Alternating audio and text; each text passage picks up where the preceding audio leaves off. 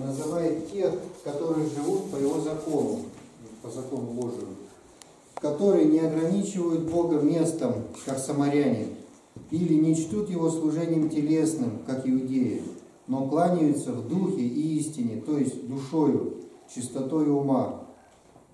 Так как Бог есть дух, то есть бестелесен, то и поклоняться ему должно бестелесно, то есть душою.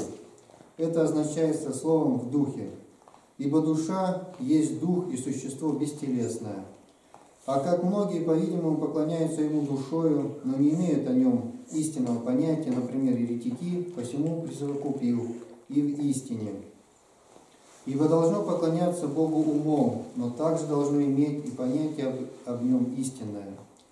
Так как самаряне ограничивали Бога местом и говорили, что на этом месте должно поклоняться, а у иудеев все совершалось в образах и тенях, то против отличия самарян употребляет слово в духе.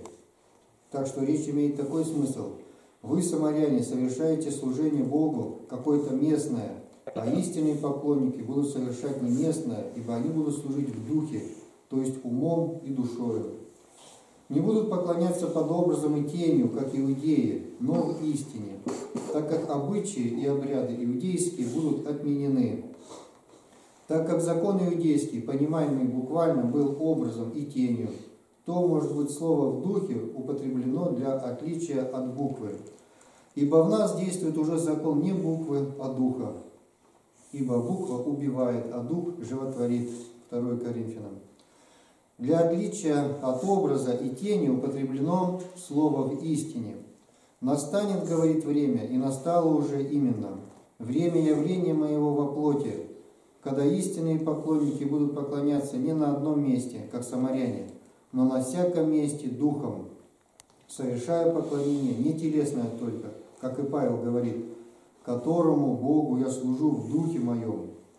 Будут совершать служение не образное, тенистое и указывающее собой на будущее, как иудеи, но служение истинное и не имеющее никаких теней.